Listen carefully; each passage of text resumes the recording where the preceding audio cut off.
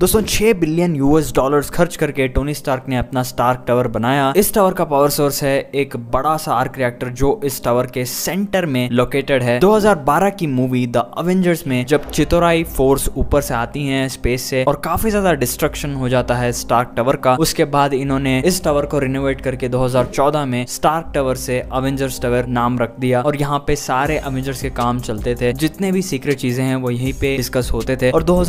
में age of Ultron Ultron movie के बाद अल्ट्रॉन के इंसिडेंट से काफी ज्यादा डैमेज हो जाता है इंटरनली तो टोनी स्टार्क इस टावर को बेच देते हैं किसी थर्ड पार्टी को और वहां से अपस्टेट न्यूयॉर्क में अवेंजर्स की टीम और टोनी स्टार्क शिफ्ट हो जाते हैं ये किसको बेचा वो एक्चुअली काफी ज्यादा सीक्रेट है वो मार्वल ने अभी तक डिस्कस नहीं किया है पर आने वाली मूवीज में शायद हमें देखने को मिले इस टावर को लास्ट दिखाया गया था Spiderman far from home movie में जहां पर क्लाइमैक्स सीन है और पीटर पार्कर हवा में उड़ रहे हैं और इस बिल्डिंग के थ्रू गुजरते हैं